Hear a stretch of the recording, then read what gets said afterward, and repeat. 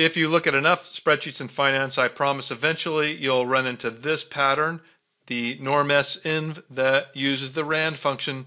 This is the inverse transform method that I like to illustrate.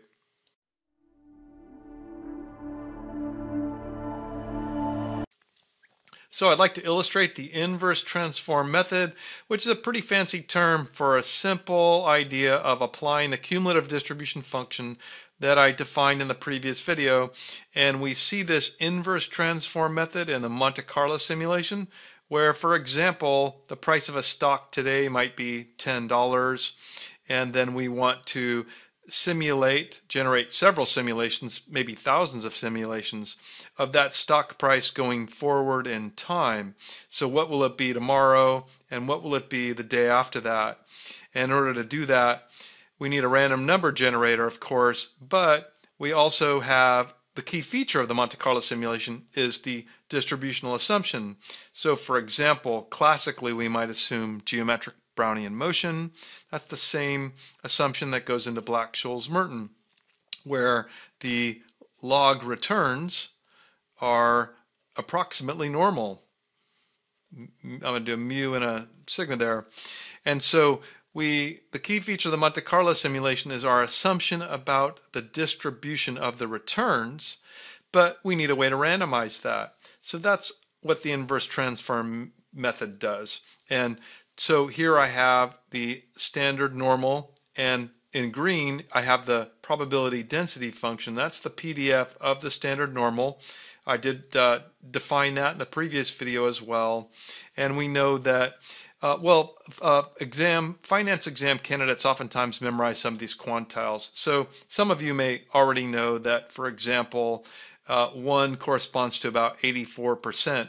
And so that means that if this standard normal characterizes the random variable, then there is an 84% chance that it's less than 1. Or, in other words, the area under this curve is equal to 84%. It's actually the area under the curve. We don't even need to divide by the whole area because it's this is a probability distribution and the whole area by definition is 100%. That's by definition of being a probability distribution. So 84% corresponds to a 1 and that is the meaning of the cumulative distribution function. As I mentioned in that previous video, key mathematical idea is we integrate the PDF. The, the integral or antiderivative of the PDF is the CDF. And the CDF is just a direct function of that cumulative probability. So at 1, it's the 84%, right? It's 84% is returned by the cumulative distribution function is equal to the area under the curve of the PDF.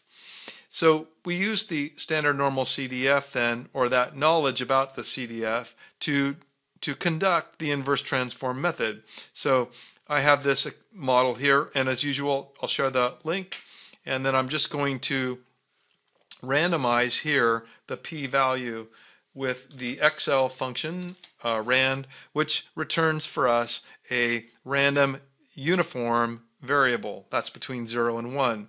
I get 18%. Let me do another one. Okay, I get uh, 71.5%. So that's the first thing I would say here about this plot is that what we have on the y-axis is the probability, right? It's from 0 to 1. And in my first or my third trial here, I got a probability of 71.5%. My inverse transform method will now convert that into a random standard normal.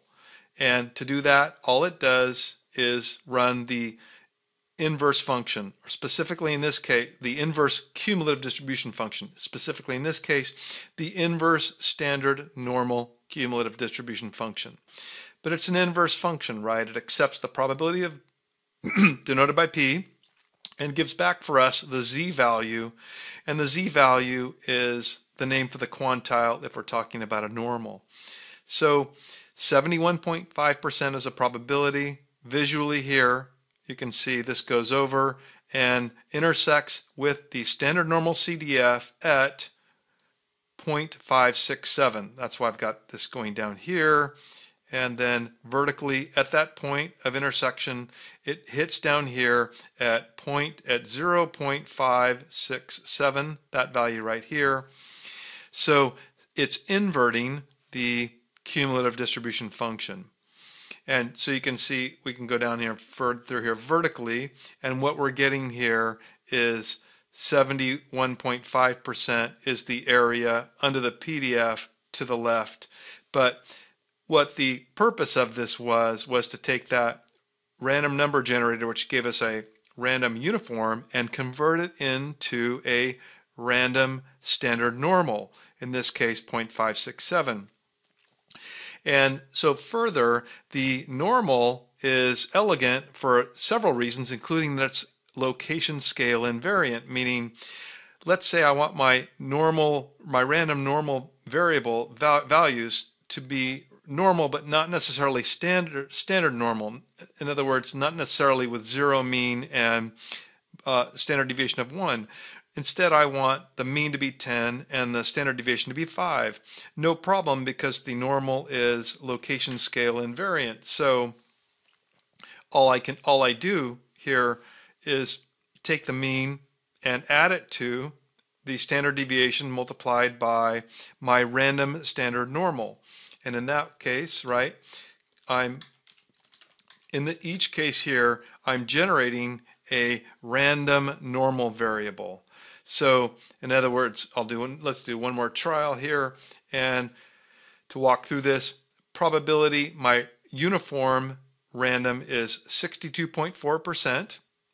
And then that get, corresponds to a random z value of 0.317, so 62.4% corresponds to 0.624 so I've transformed the random uniform into a random standard normal, and then I can uh, multiply and add, or add and multiply to transform that into a random normal value with mean of 10 and variance of 5 squared, in this case 11.58.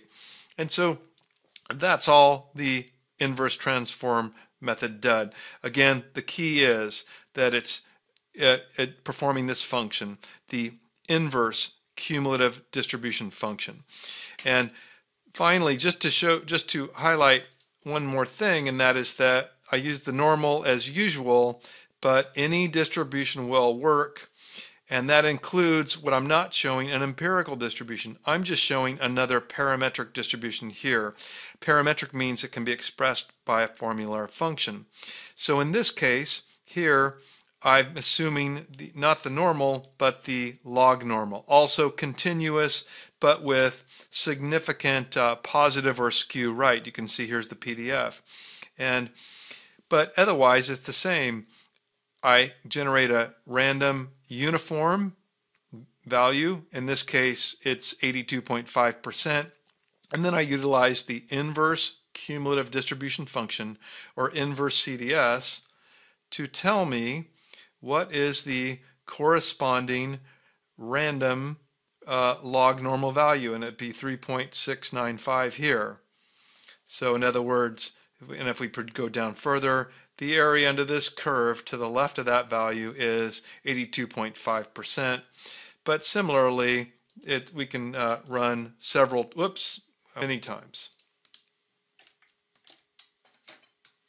Okay. And I hope that was helpful. Thank you.